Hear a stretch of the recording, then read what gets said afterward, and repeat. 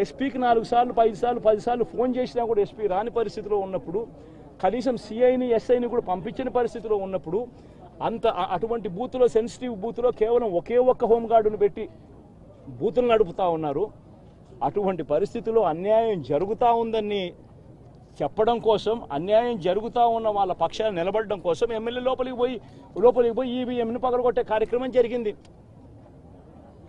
ఎందుకు ఈవీఎం ఈవీఎంలో నిజంగానే ఎమ్మెల్యేగానే ఎమ్మెల్యేనే రిగ్గింగ్ చేసుకుంటా ఉంటే ఎమ్మెల్యేకి అక్కడ అక్కడ అక్కడ అక్కడ నిజంగానే ఎమ్మెల్యే పరిస్థితి అంత బాగుండింటే ఎందుకు ఎమ్మెల్యే ఈవీఎం పక్కన కొడతాడు?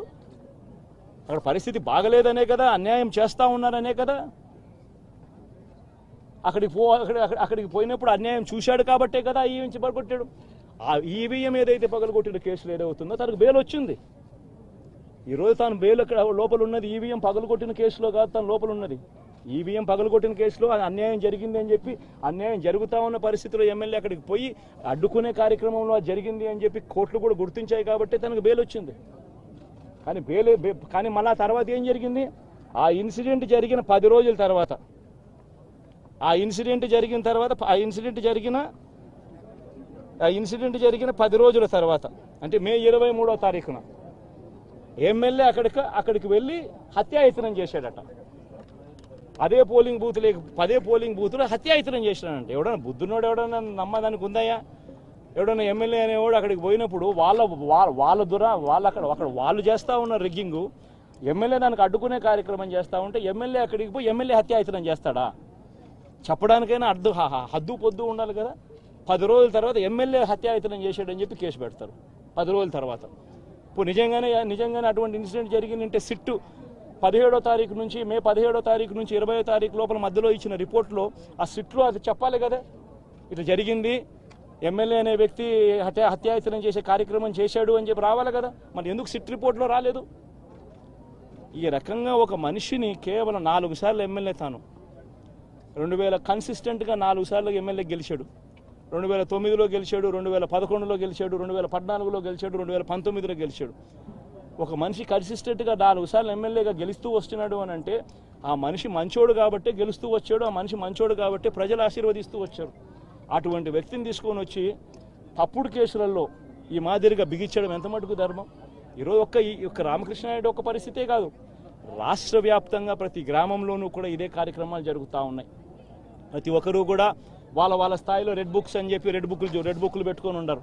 చంద్రబాబు నాయుడు స్థాయిలో చంద్రబాబు నాయుడు ఒక రెడ్ బుక్ లోకేష్ స్థాయిలో లోకేష్ ఒక రెడ్ బుక్ ఎమ్మెల్యే స్థాయిలో ఎమ్మెల్యే ఒక రెడ్ బుక్ మండల స్థాయిలో మండల నాయకుడు ఒక రెడ్ బుక్ గ్రామ స్థాయిలో గ్రామంలో ఇంకో రెడ్ బుక్ గ్రామ స్థాయిలో ఇంకో నాయకుడు గ్రామ స్థాయిలో ఇంకో రెడ్ బుక్ రెడ్ బుక్లలో పెట్టుకొని ఏం చేస్తూ ఉన్నారు? అతి దారుణంగా అన్యాయంగా ఆస్తులు ధ్వంసం చేస్తూ ఉన్నారు. రాష్ట్రం మొత్తం దాన్ని చూస్తూ ఉంది కానీ ఎవడు మాట్లాడడం లేదు. దొంగ కేసులు పెడతా ఉన్నారు పోలీసులు ప్రేక్షక పాత్ర పోషిస్తూ ఉన్నారు. దొంగ కేసులు పెడతా ఉన్నారు. వాళ్ళే కొడతారు మన ఇటువైపున కేసులు పెడతా ఉన్నారు. రాష్ట్రం మొత్తం ఇది చూస్తూ ఉంది. చీని చెట్లు నరికేస్తూ ఉన్నారు ఆస్తులు ధ్వంసం చేస్తూ ఉన్నారు కనిపిస్తూ ఉంది. ఎమ్మెల్యేలు ఏకంగా జేసీబీల మీద పొక్లేన్ల మీద ఎమ్మెల్యేలు స్వయంగా స్వయంగా తీసేసి ఏకంగా పోయి బిల్డింగులు పగలగొట్టే కార్యక్రమాలు చేస్తూ ఉన్నారు. ఇంతటి దారుణంగా నిజంగా చేస్తూ ఉన్నారు అని అంటే ఎల్లకాలం ప్రభుత్వం మీది కాదు. ఎల్లకాలం రోజులు మీయే ఉండవు చంద్రబాబు అది గుర్తుపెట్టుకో.